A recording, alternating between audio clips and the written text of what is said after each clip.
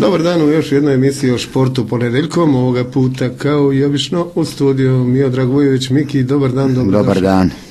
Što nam je spremljeno za danas? Što nam je spremljeno? Spremljeno nam je sljedeće. Dakle, od lokalnog sporta još nisu natjecanja počela u punom svom zamahu. Baš jutro sam razgovarao sa ljudima iz nogometa, obzirom da se ne zna kad je nastavak u kantonalnim, prvoj i drugoj kantonalnoj lizi. Ona je da li to može početak četvrtog čak, pa će e, tačan datum nastavka natjecanja odrediti kad će se početi sa pripremama. Košarkaši se spremaju, dakle idući vikend je nastavak natjecanja, putuju u grude na tu jednu od odlučujućih utakmica za dalje prolazak u playoff, a ono što mogu da najavim, u srijedu u 14 sati u maloj sali općine Busovača održaš se redovita godišnja skupština Sportskog saveza općine Busovača, gdje će se izvršiti izbor novog predsjednika, novog rukovodstva i obzirom sam ja tajnik u Sportskom savezu, ja ću vam u emisiji u petak prenijeti sve naše zaključke. Jeste, bit ćemo razgovori oko samog kriterija u raspodjeli novčanih sredstava, to će vjerojatno biti malo interesantnija rasprava. Mada, mada sudeći po onim sjednicama i neglasanja određeni Jeste, da onaj, mogu iskreno mogu reći da sve odluke koje je Sportski savez donosio u proteklom periodu dok sam ja tu su uvijek bile jednoglasne, se mi to vrlo lako da govorimo, mi nismo poličar, mi smo sportisti. E, Da upitam, je to zbog toga što je malo novca pa se lako dogovoriti? Upravo tako. Da malo para, da je puno para bio bi cirkus. Jeste, znači uvijek stoji ona opcija da više ima onoga što se ne može vratiti zbog nedostatka novca, nego onoga što se nažalost može vratiti. sve i te i članstvo i funkcije i predsjednik i tajnik, sve je to na volonterskoj osnovi, zna, neke no, stvari. evo, ono što raduje, nadam se da će to neko iz politike prije ili kasnije prepoznati, e, mladi pa i srednje generacije i starije generacije, svi su željni športskih događanja. I sva športska događanja su uvijek, dvorane su pune, stadioni su puni, znači zanimanja ima, treba prepoznati neko od sponzora to, pa zašto ne ovaj, da se naplaćuju reklame i u dvorani i na stadionu. I da napravimo još jedan iskorak. jer čim je puno gledatelja znači da ima neke zanimanja i neko bi imao uvijek interesa da može e, sponzorisati da kažemo tako i takvu vrstu događanja. Mada ja osobno mislim e, da su kultura i šport nevezani baš sa nekim novčanim sredstvima. Ne bi to bilo dobro za šport i za kulturu. Kultura bi, posebno. Da, ako bi zavisili baš od nečije dobre volje i novčanika naravno. Mislim da je to baš tema za jednu posebnu emisiju, a to može tako nešto da. dovešćemo nekakve goste pa da razgovaramo čak i iz kulture ne bi bilo loše da, da o takvim stvarima. Dobro, idemo ono što je redovito ponedjeljkom, dakle pregled nogometnih zbivanja u Europi, u Engleskoj su se igrale kup utakmice, prvenstvo je mirovalo. Njemačka, Bayern i dalje juri prema tituli u 50. prvenstvu Bundeslige. Ovaj put protiv Stuttgarta 2-0 Mandžukić je postigao ponovo gol. Igra odlično, Super Mario igra, drugi Mario sjedi na klupi, Mario Gomez.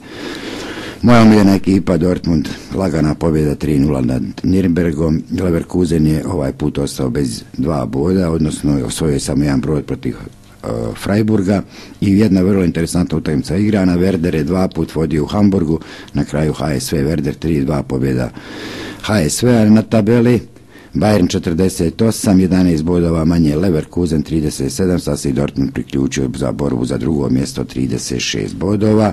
U Francuskoj mrtva trka se nastavlja s tim da je jedan od takmaca malo zaostao. Marselj je sa Renom igrao 2-2, tako da je dva boda, tri boda trenutno od Paris Saint-Germain i Liona koji imaju po 45.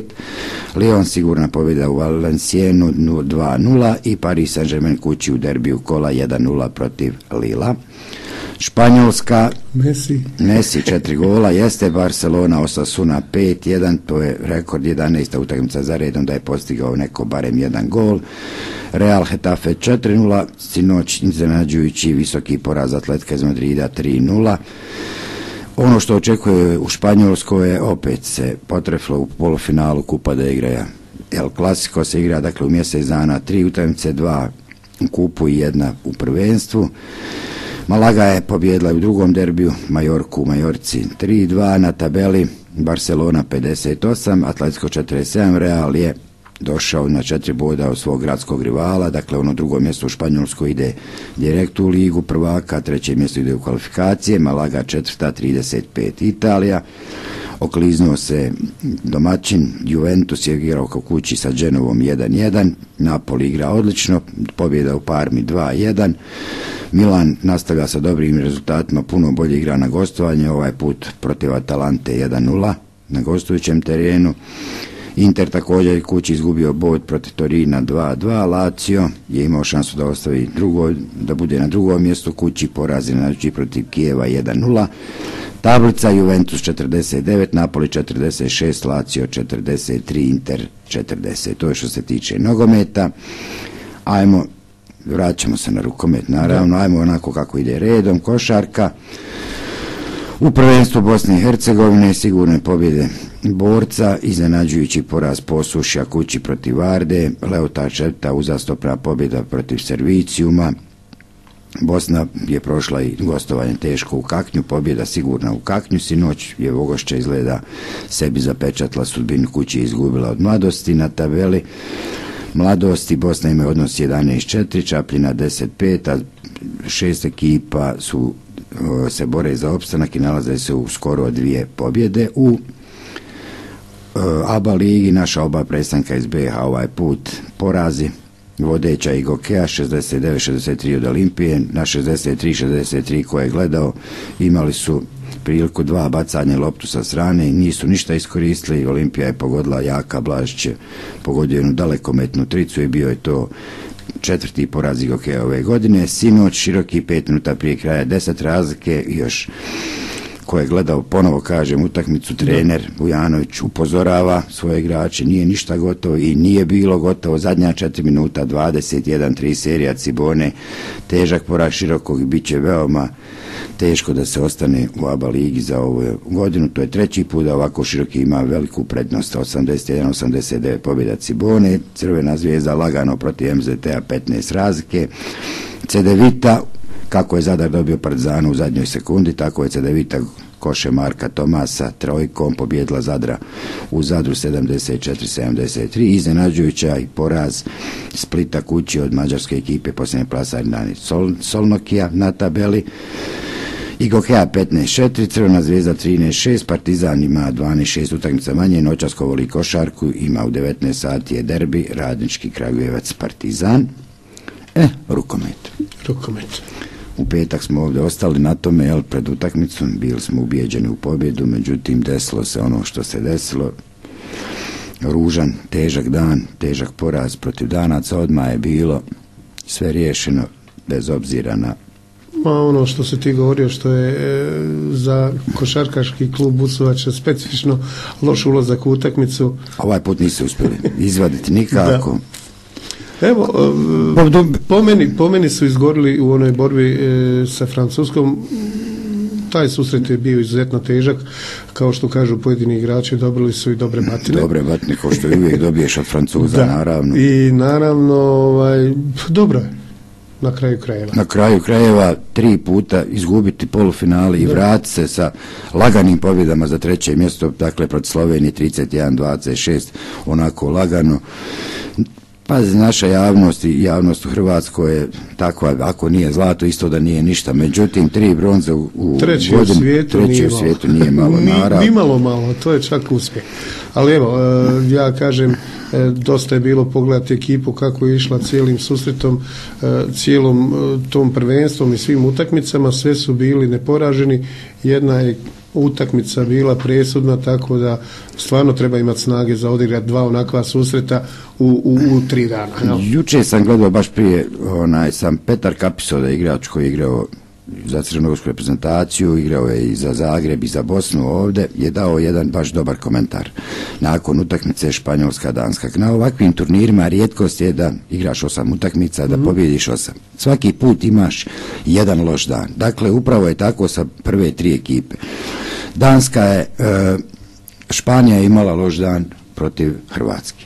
Danska je imala juče katastrofalan dan, odnosno Hrvatska je imala jedan dan u polufinalu. Dakle, potrebno se tri poraza svak po jedan poraz, se potrefilo ono što se jučer desilo, ja 35-19, na kraju onaj zadnji gol je priznat, mada je sve stajalo 35-18, 35-19 je zvančno na IHF stranici.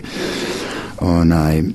Ali evo kad pogledamo recimo kako izgledaju natjecanje u nogometu, pa ono kad se dođe u polufinala ima dan dva odmora, pa isto tako i u finalu, ovaj, ima tu logike ima veze. E, to se najbolje vidi po ovakvim susretima gdje su u par dana dvije teške utakmice nemoguće odigrati dobro. Dan su se polomili sigurno pred Hrvatske, to je i onda je bilo, Španjolcima ipak bilo lakše i protiv Slovenije, imalo i domaći teren i sve živo.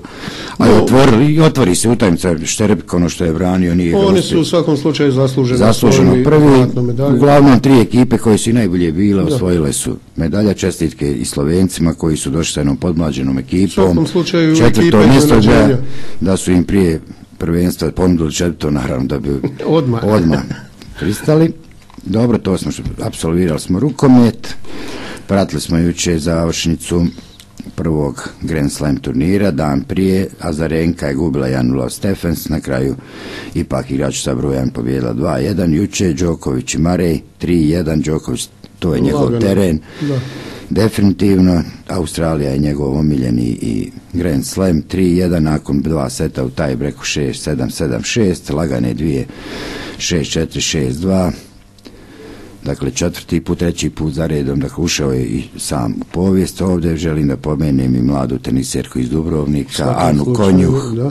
dakle pobjednica juniorskog prvog Grand Slema i u parovima. Svaka čast sada vidjet ćemo kako će to izgledati. godina kad krene u, u seniorsku konkurenciju, imala, imala je Hrvatska, sjetimo se Mirjane Luč, ali neke druge stvari su se bile dešavale oko nje same, na Ani je vjerojatno da to sama sa svojim roditeljima, trenerima, da izabere pravi put. Ono... Pa evo ne znam, jesi sinoć gleda, ona je bila gost, ja mislim u trećem dnevniku, nakon povratka je došla u studio, trener njen je ono istaknuo kako izgleda njen radni dan.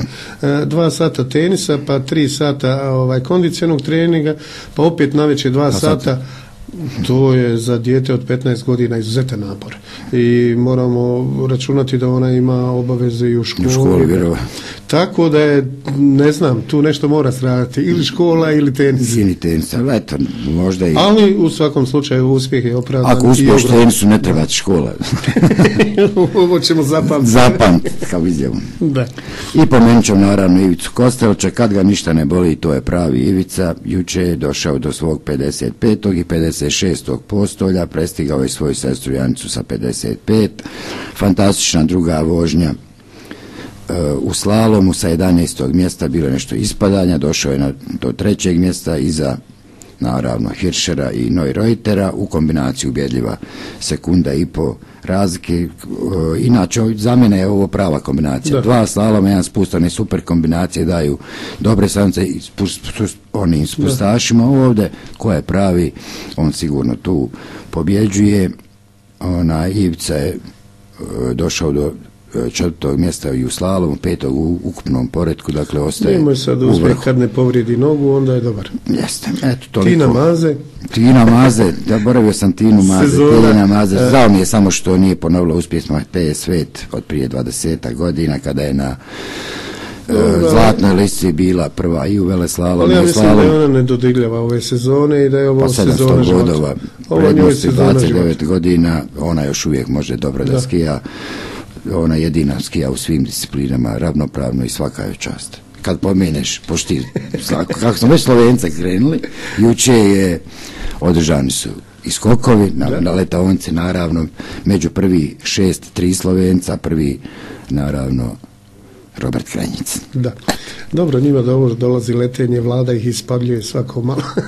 Letenja, oni imaju letaonicu prvu, oni to imaju svoju planicu, ja ne znam šta će uraditi, jer im je Vikerson do preuzeo i svjetske rekorde, vjerojatno su nešto preko ljeta, kako sam mogao da pročitam, su radili neke dorade, oni 246 pa vjerojatno i, oni imaju problema kao i mi, ovaj mladež odlazi dalje u svijet, pa onda kažu na mladima svijet ostaje, ako nemaš mladi, onda teško da imaš budućnost, jel? Eto, toliko za danas. Ništa tebi hvala na sudjelovanju u ovoj emisiji i vi, vi opet se vidimo u petak. Hvala, čao. A vi, poštovani slušatelji, ostanite i dalje na 101.9 FM.